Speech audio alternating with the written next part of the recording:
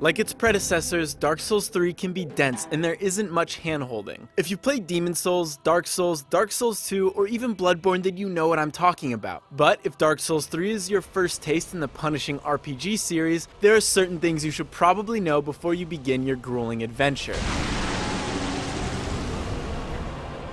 Exploration is the key to success. Sure, it can be frightening, but the rewards almost always outweigh the risks. An alternate path can lead to a shortcut, new weapons, armor, souls, rings, undead bone shards, Estus shards, and the list goes on. Even if you've defeated the boss in an area, it's always worth your time to backtrack and pick up something you may have missed.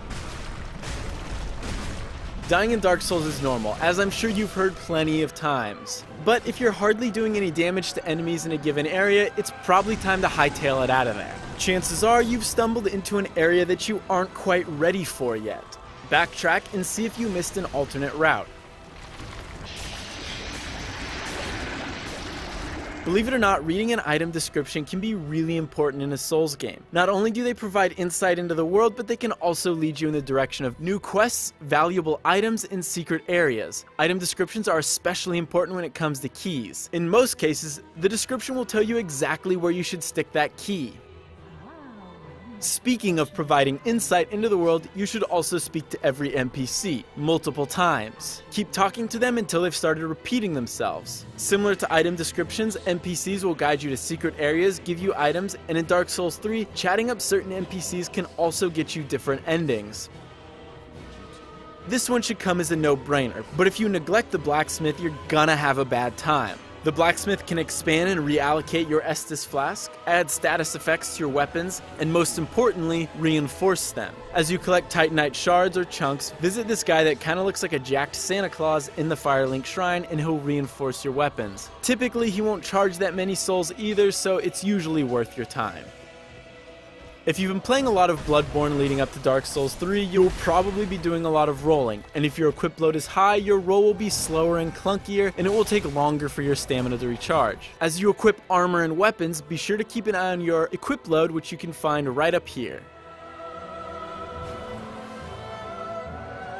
By now you've probably noticed all the orange messages scrawled across the ground just from this video alone. If you've played Dark Souls before, you know exactly what they are, but if not, it's worth knowing more about these messages. These notes are usually left by other players, and you should be wary about trusting some of these. Some can be really helpful, while others can lead you to your death. If a message is sitting at the edge of a cliff that says, treasure below, I probably wouldn't recommend walking off to sea. Usually you can gauge how trustworthy one of these messages are by seeing how many appraisals it has. Before you pop one of those hefty boss souls, wait. After you've defeated the first few bosses, visit this decrepit old fart on the throne and chat him up. Basically, you can trade these souls for one of two unique items. Keep in mind that you can only pick one per playthrough for each of the souls you collect. I like to think of co-op as a last resort in Dark Souls. After a few dozen failed attempts, then it might be time to consider phoning in some help. Hosting a co-op game is pretty easy. As long as you're logged into the servers, you might notice some summon signs on the ground. All you have to do is examine it, and voila, someone will come to your aid.